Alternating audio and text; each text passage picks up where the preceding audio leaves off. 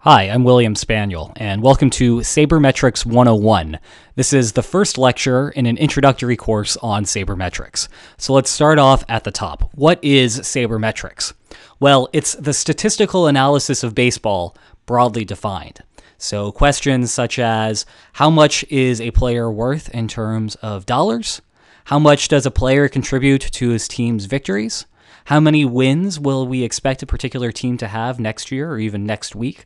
Those sorts of numbers based questions. That's what we study in sabermetrics. The term was coined by Bill James. You might think of Bill James as the godfather of sabermetrics. He's been doing this longer than anyone else has. He's been using numbers and convincing other people to use numbers to answer these sorts of questions for decades now. The word itself comes from two words or two parts. One is SABR, S A B R, the Society for American Baseball Research. The second half of it is metrics, like we're measuring something. So you cram those two things together, you add an E for the sake of making it look like a real word, and there you have sabermetrics. You've probably heard of this before if you're a baseball fan. Sabermetrics was turned mainstream with Moneyball, the recent film, and also the book that came out in 2003 chronicling how the Oakland A's use these sorts of measurements to figure out how to put together a winning team without that much money. So that's what sabermetrics is. And in this course, we're going to be focusing on the very basics. As I said, this is an introductory course. So what the goal for here is is to teach you the various statistics that sabermetricians use.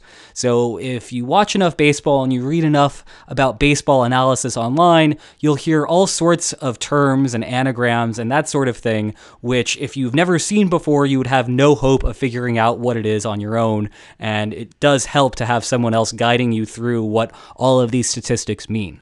So, in any given lecture, I'm going to give a particular term, and this is going to start with very basic things like ERA and batting average, and then it will evolve into something more complex like on base plus slugging or BABIP ball batting average on balls in play, and we'll eventually get all the way up to the top with things that are excessively hard to calculate and things that you wouldn't be able to do on your own or at least very easily without a computer, like war. And in each of these lectures, I'm going to go over the motivation for why someone at some point created this particular statistic. What was the point of creating this statistic?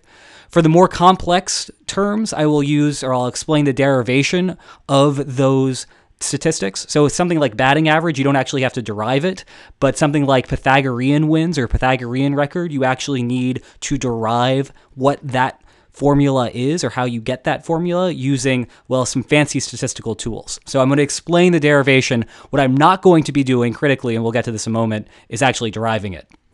Lastly, I'm going to explain the weaknesses of any given statistic. So these statistics are created to tell us something and something useful about baseball, but any particular statistic also has weaknesses. So it's important that I explain to you why we motivate these things, why we have these statistics, what they're good for, but also explain why they aren't always perfect. All right, so that's what this course will do. What this course is not going to do, as I mentioned, as I alluded to just a second ago, is teach you how to derive estimators. So for some of these estimators, you're actually going to need to learn real hard, difficult statistics. And that's something I'm not going to be doing in this course. That is something that if you want to do, you need to learn a lot of math, you need to take a lot of statistics, and you need to be doing it at the university level. That's something that we can't very easily do very quickly online. So I'm not doing that here. Apologies. Sorry. It's something that's a worthwhile pursuit, and I encourage you to do it on your own. This course is also not going to claim that we know everything. This is still an evolving field. We don't know exactly what the greatest measures are out there. We have a good idea what makes a better measure than some other measures, but we don't know everything. And certainly, I'm going to emphasize this I am not going to tell you that everything that you need to know about baseball can be done using a computer and using math. Baseball scouts out there are not worthless. They are very useful, and there isn't a team out there anymore that believes that you can just use statistics to figure out how to create a good team or just use baseball scouts to figure out how to put together a good team. You need both, and if you're not doing both, you're falling behind. So I'm not going to be telling you that baseball scouts are worthless. We're cool on those. All right? Now, lastly, who am I? I'm the guy who's teaching this course. My name is William Spaniel. As I said, I'm a PhD candidate at the University of Rochester. I study methods and political science there. I'm a lifelong Angels fan, hence the red there. Oh, by the way, I mentioned Moneyball earlier. Funny story about that. That book is about the 2002 season for the Oakland A's. Oakland A's lost in the playoffs that year. Angels won the World Series. Go Angels. Sorry about that, but I'm going to be throwing in Angels references every now and then uh, for players' sake because I'm most familiar with Angels. So that's something that you probably should know ahead of time. I'm going to be mentioning Angels players probably more frequently than most other players for the sake of illustrating examples because, again, I'm familiar with Angels players more than any other team. I'm also a ball hound. I really like going to baseball games and getting foul balls. I think the last time I missed a ball at batting practice was opening day 2009. You can click on the annotation on your screen to learn about how I go about doing that.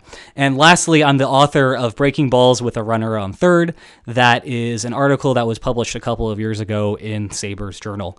You can click on the video description to learn more about that article and read it off my website. All right, so that's who I am. And what we'll be doing now from lecture to lecture is introducing a new statistic and explaining everything there is to know about that. So I hope you enjoyed this introduction and I hope you enjoyed this entire course. See you next time. Take care.